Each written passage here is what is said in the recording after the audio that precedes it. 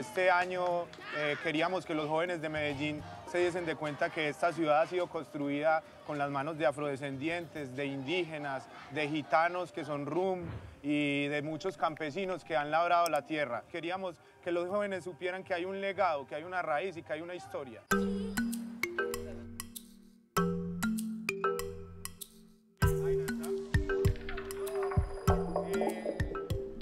Es una experiencia novedosa porque estamos hablando de etnoeducación y sabemos que nuestra comunidad antioqueña y colombiana siempre se han generado a través de la interculturalidad y de ser muy multiétnica.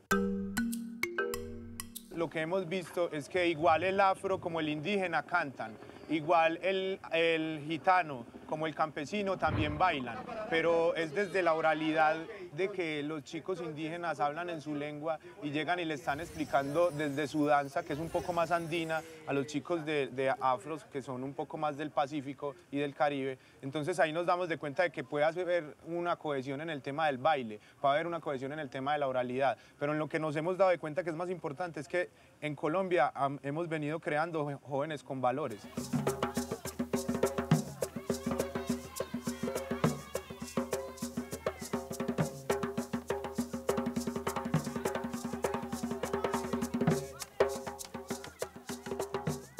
Que todos tenemos la misma sangre, que independientemente de nuestras formas, colores, texturas, todos los jóvenes debemos de encaminarnos hacia lo mismo y es hacia generar una, una comunidad más, más unida, una Colombia más incluyente, una Colombia que se respeten los valores y las decisiones que los jóvenes tomamos y esto es una excusa para reunirnos, encontrarnos y darnos de cuenta de que tenemos a la larga así sean diferentes comunidades, las mismas problemáticas, pero tenemos las mismas formas de, de, solucionarlos y entendemos que es a través del amor, de las expresiones de nuestra cultura y de rescatar toda esa identidad que muchas veces hemos venido perdiendo por X o Y motivo.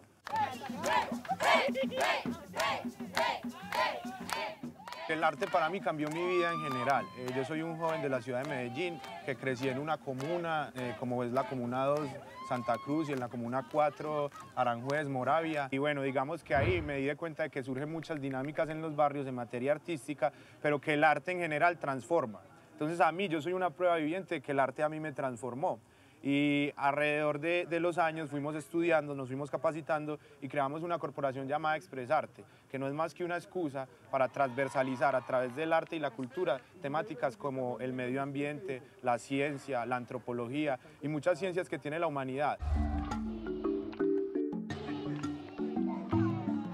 Podría decir que el arte es transformadora, sensibiliza, pero aparte de eso genera una cohesión. Entonces yo de, de, pronto puedo ser un chico joven afrocolombiano latino que en cualquier momento puedo ir al mundo, pero a través de la danza, de la música, me puedo comunicar con otros jóvenes y vamos a estar hablando en el mismo idioma. Nosotros lo que, lo que intentamos es que a través del teatro, de la danza, de la música, ser como unos traductores de las realidades que se viven en los barrios, en las urbes, en lo rural, en los corregimientos. Entonces hemos entendido que los jóvenes no solamente son el futuro, sino que ya son el presente.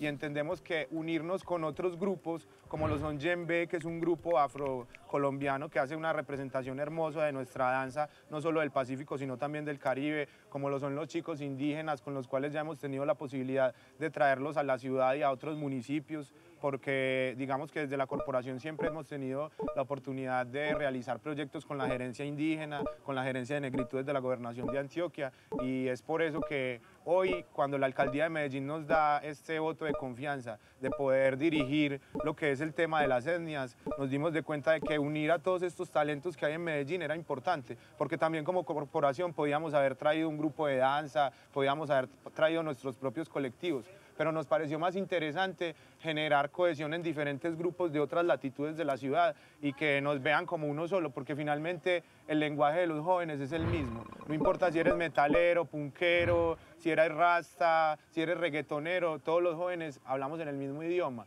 y nos comunicamos a través del arte. Entonces es importante que toda la comunidad y los jóvenes lo entendamos así.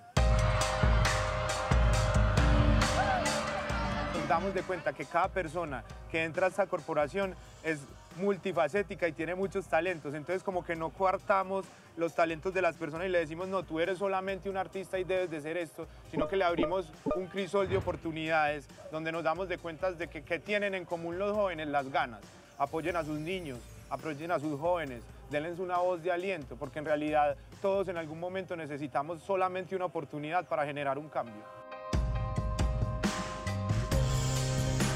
El, reto de los jóvenes de Medellín en realidad es realizar una unión verdadera, porque digamos que las generaciones que están primero que nosotros, los adultos o mayores, eh, han generado muchas brechas y nosotros como jóvenes nuestro reto es volver a unirnos, unirnos desde las raíces, unirnos desde la integración de nuestras comunidades, unirnos desde el amor, porque el amor puede transformar. Para mí el único reto que tenemos nosotros como jóvenes es sentarnos a hablar en el mismo idioma y permitir que desde la política nuestros adultos nos escuchen.